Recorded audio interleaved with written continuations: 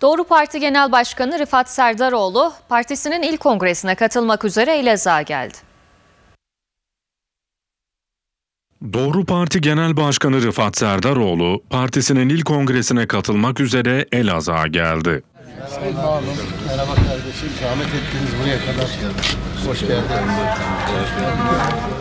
Genel Başkan Serdaroğlu'nu havalimanında Genel Başkan Yardımcısı Cezmi Orkun ve ilçe teşkilatı karşıladı.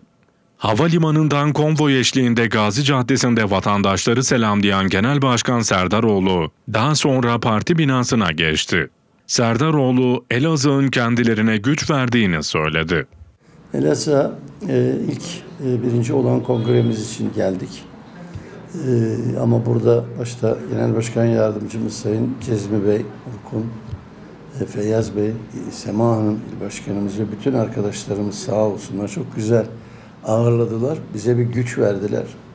İnsanın zaman zaman normal aile hayatında e, sıkıldığı anlar olur biliyorsunuz.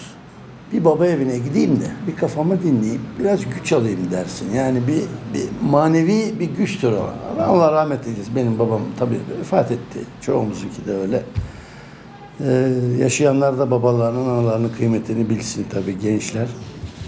Ee, o, o yani öyle bir hava var burada Elazığ'da. Bize bir güç verdi Elazığ. Bizim bu e, hevesimizi, gücümüzü daha da arttırdı.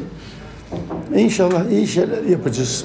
hem Elazığ'a hem Türkiye'ye ama e, burada da maalesef e, sokaklarda işsiz gezen insanlarımız çoğunlukta. Ekonomik bozukluk, ekonomik sıkıntı Elazığ'da çok kötü vurmuş Elazığ'da. Sabredeceğiz, bunları aşacağız. Yani bu ülkenin insanları e, tekrar toparlanacak, tekrar bir araya gelecek.